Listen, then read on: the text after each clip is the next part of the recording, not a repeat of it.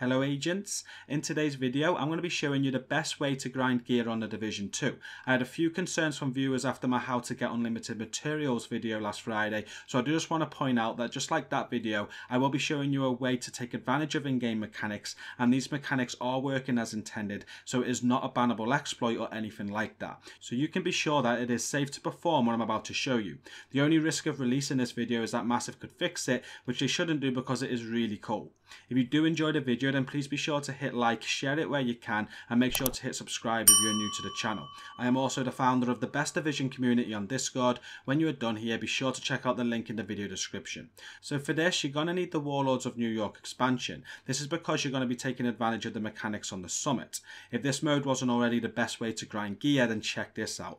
All this green loot that you can see on the floor here is targeted hardwired loot that we got in a team of four and we didn't even have to finish a floor. You do need to do some prep work though and you will want to get up to floor 90. I just jumped on Kedri who already had the floor 90 checkpoint and then this saved as my checkpoint. I also want to say a huge thank you to Kedri who brought this method to me. From the lobby, just select the difficulty that you want and turn on as many directives as you are comfortable with. The more turned on, the more targeted loot will drop. Before you start, make sure that you select the targeted loot that you want from the menu. Once you start the floor, you'll encounter three waves of bosses. Each boss is going to drop you targeted loot and enemies have a chance to drop it as well. We would kill two of the boss spawns and then we would pick up all of our loot and the leader can then bring up the menu and press square to return to lobby. Any loot left behind you'll lose but you keep what you picked up and you'll still have the floor 90 checkpoint.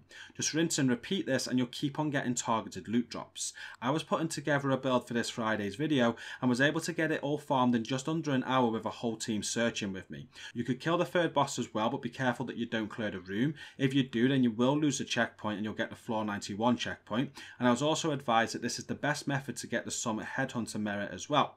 Just keep doing this to grind gear and you'll come across all the named elites needed.